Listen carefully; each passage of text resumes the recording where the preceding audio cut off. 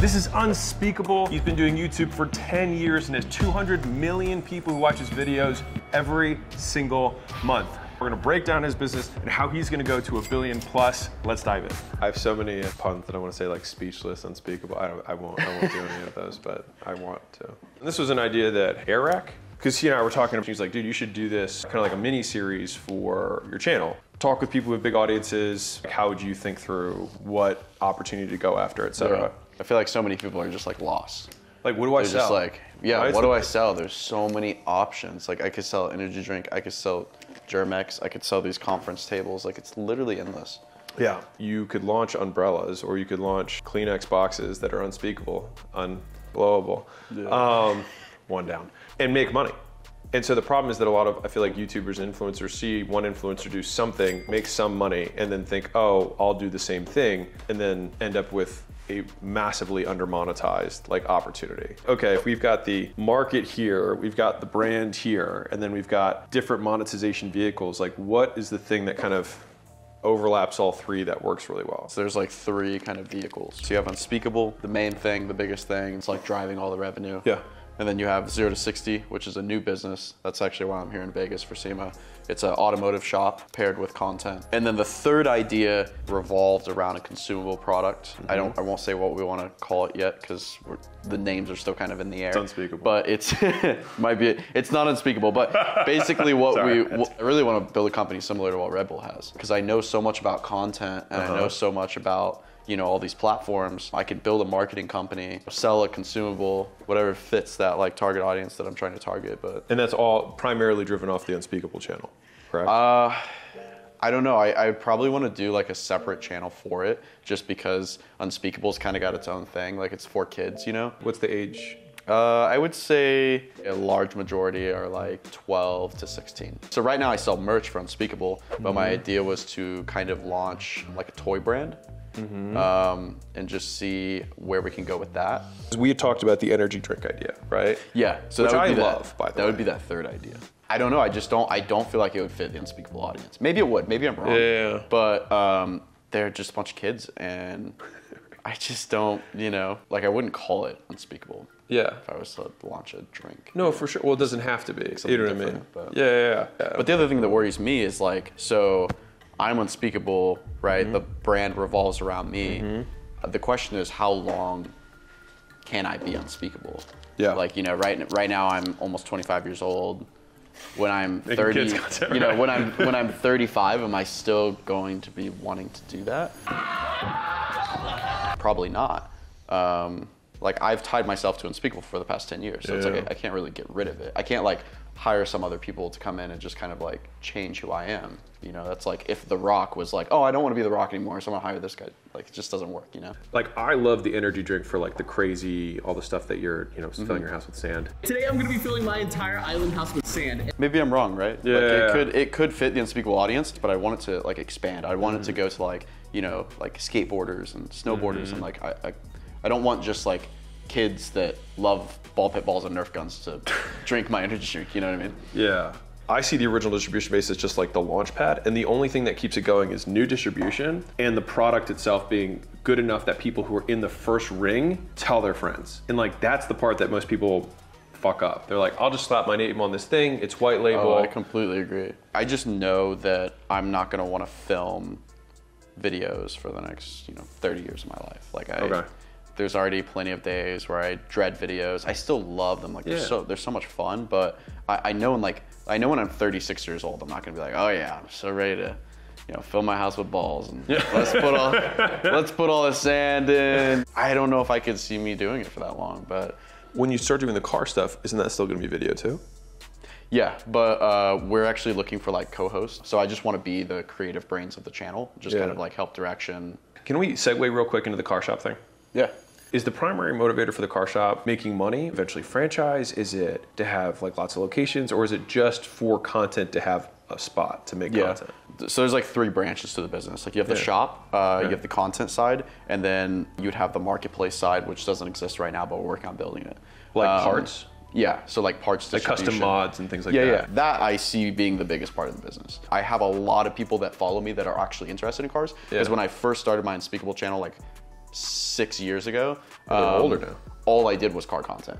Oh. Yeah, so I started doing car vlogs. I had like a GTR. I went to like car meets. Okay. I like went on rallies because uh, at the time I just did daily vlogs. I was just like, "Yo, guys, this is my life." That was what the Unspeakable channel was like six or seven years ago. And then you started seeing what was hitting and Yeah. then the crazier shit you did, and Yeah, then it just well, kind of more. Yeah, because YouTube like six years ago was like vlogs. Like Casey Neistat was like the biggest mm-hmm. YouTuber, and he literally just walked around New York City making really good, entertaining videos. But it was just a, a day of his life. Yeah, That's yeah. what YouTube was. You had a bunch of other creators like Mr. Beast and other guys come in, and they're like, okay. This is the new YouTube. This is challenges. Yeah, yeah, Where yeah. people are like, all right, survive Crazy on shit, this, yeah. survive on this. So Yeah, I was like, I need to like uh, change to that. So that's where everything else came in. And So if we're optimizing around how do we make you the most money, short and long term, right? And really more so long term, it's clear that you love this one.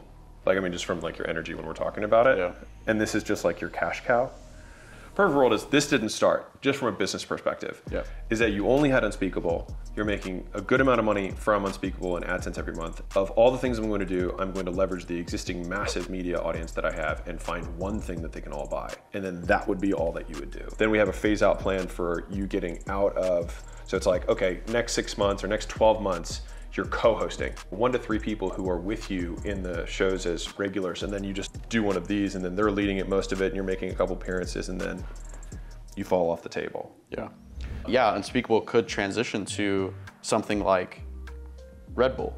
When you think of Red Bull, you don't think of one person. Like you just think of like mm-hmm. crazy, anything crazy. Yeah. Right. i still think that an energy drink is not bad I feel like the energy drinks market is so saturated. totally. If you put the same amount of attention to making the product the way you do videos where it's like how does it taste in the beginning? How does the aftertaste? Like if you like if you were to break it down at that micro level of really making an exceptional product you're excellent at what you do. So like that character trait will carry over. You know what i mean? If you apply it to this. So if we're analyzing opportunity it's number of units sold times gross profit potential per unit divided by competitive moat. Number of people times amount of money made. So like for me we do deals with a very tiny percentage of people, but the amount of money that I make on a deal is significantly higher. And so for me, that cross section, even though it's itty bitty bitty, still makes it worth it for me, right? Because for that small person, helping them go from 10 to 100 million is very meaningful. Yeah. And so I can help a tiny amount of people a lot and then help everyone else for free. And so we just have to figure out what that slice is. What do you like? So you've got the car thing. You dig that. What else do you dig? Like, what, what is um, your what do your what do your people know about you? I mean, just having fun with friends and just making videos. It's just kind of the whole vibe of like, Yeah. So you get money from AdSense and whatnot, but do you have any other brand sponsorship deals like integrations into videos? Oh, yeah, plenty. Okay, so which so Plenty. what are those advertisers? Nerf, Legos, Elmer's glue. We've done some with WWE. Okay. Five Hour Energy, Hot Pockets, Honey, like the website Yeah, plugin thing. yeah, yeah. Bunch of like small mobile game companies. Do they reach know, out to you or do you reach out to them? They all reach out to us. Really? Of opportunity vehicles, the game would be by far number one. It would hit the most amount of the audience. You'd make the highest gross profit per user. It's operationally, from a fulfillment standpoint, the easiest to handle. The big hard part is like building a software game that's actually really good. Yeah. I've seen so many YouTubers make games, Mm-hmm. and it doesn't matter the following that they have. Like, if the game sucks, the game sucks. the game yeah. sucks, the game sucks. Like, I like the energy drink angle. The only issue with these though is that they're cash eaters. yo, which sucks. What I'm gonna say you may or may not like, so just take it for, for what it is. How can we do more of what we're currently doing? Because like of the plays, like I like that one a lot. Yeah. High likelihood of success, right within your wheelhouse. Like there's only a couple tweaks. It's like, okay, find the other co-hosts. Like if you're like, well, that's kind of hard. It's like, well, so is building a fucking software company. Like it's all hard. Right, it's all hard. but like this one, you know, like all the other variables you've got down. I feel like doubling down on the media might be the play. You could probably like tomorrow 5x how much money you make just by building out the sponsorship arm.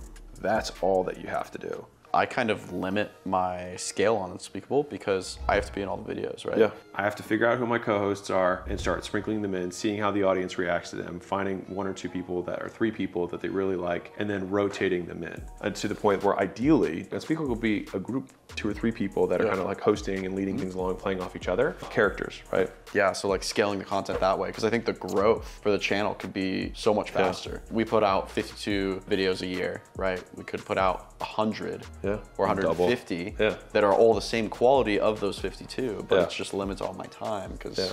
you know I have to sleep eventually. But when someone pays you a million bucks or whatever to do a year of sponsorships, it's like that goes straight to your bottom line. Yep. That is not common.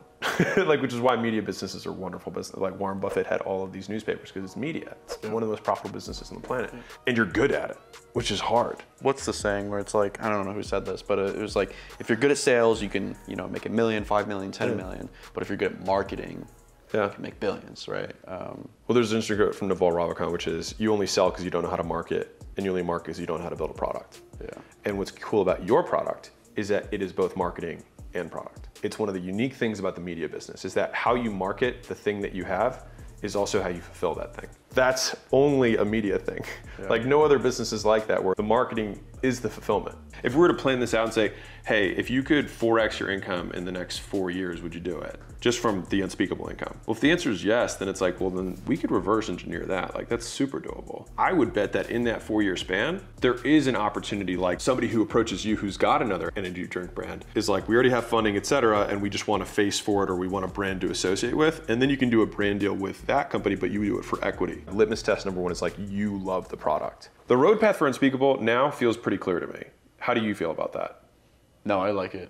And then you also have this car thing. Even here, building the, the, the car parts thing, like that'll definitely make money. I like I like that as a business model. And if Unspeakable didn't exist, I would say, yeah, just do that. You thought about it before you built it. You were like, I'm gonna build the content arm, I'm gonna monetize over here, and sure we'll make some money at the shop, whatever. That's a complete business model in my mind. And it makes sense because it's fully integrated into the videos. It's like, hey, we just put this custom mod thing on the Lambo.